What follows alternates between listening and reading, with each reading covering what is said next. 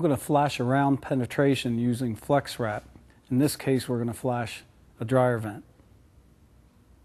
The first step is to cut a flap. I'll come up on a 45 degree angle, both sides.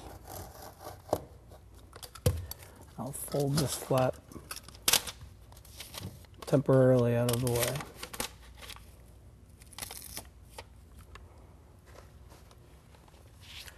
And I'll take a piece of FlexWrap that I've cut. I've cut one a little bit wider than the other. I'll start with the narrower piece. And I've cut it so that the break on the release paper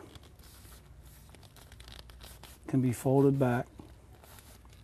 And I'll crease this, peel off the first piece, and start at the lower end of the dryer vent and wrap up around the sides,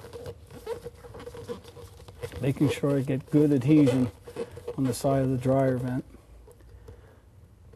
I'll pull the release, second piece of release paper away and start to work the FlexWrap out.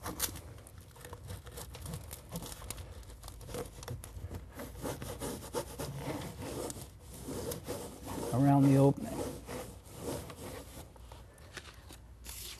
After the lower piece is installed, I take the second slightly wider piece, crease it, pull the release paper off,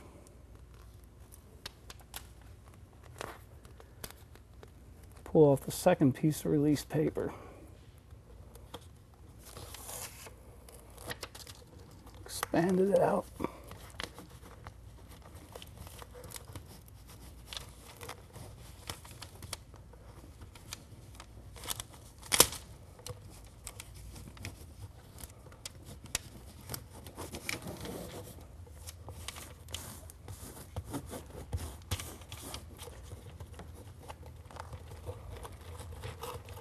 I've cut this second one slightly wider that so I have a projection out over the lower piece.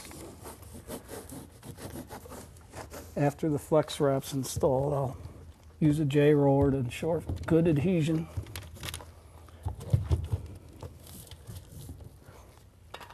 I'll untape that flap, fold it down over the opening.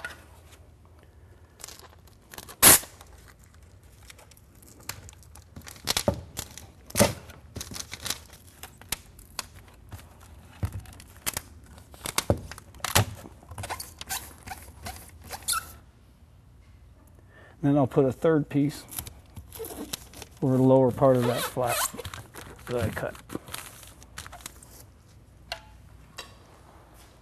This is how you can use DuPont FlexWrap to flash most round penetrations.